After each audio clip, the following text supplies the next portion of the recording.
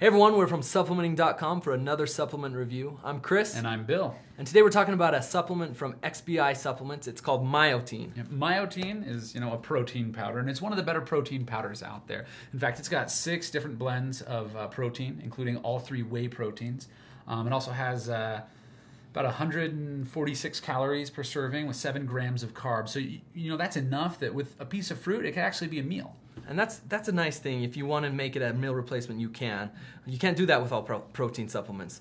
Um, he mentioned the whey proteins in there. You got whey protein isolate, whey protein concentrate, and whey protein hydrolysate.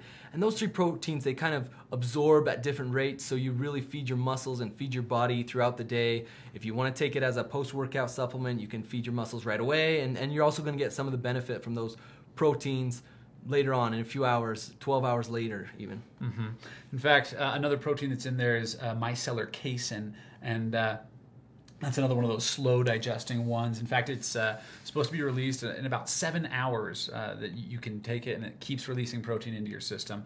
Um, so that's a good one to take before bed you know, for that same reason. Uh, another ingredient that's really important and very unique to Myotein is uh, aminogen. And aminogen boosts uh, the amino acid levels as well as the nitrogen levels, and that just gives you a little bit extra energy, a little bit extra recovery from your workout. And you're gonna get about 26 grams of protein with all these proteins in each serving. So if you do wanna use it just to maintain your muscle levels and prevent muscles from breaking down, you can go with one to two servings a couple times a day. Uh, if you really want to build that muscle, then you probably want to boost that up to three servings a day. This does taste great, so that shouldn't be a problem. It comes in a milk chocolate flavor. It mixes really good. It, it turns into like a creamy, almost a milkshake when you mix it with milk. Maybe maybe you want to try one percent or two percent for even more creaminess. Yeah, and XPI, you know, they, they, make a lot of great products. Myotein is definitely one of them. It's one that we definitely suggest um, if you're looking for something to help you maintain lean muscle and just build strength.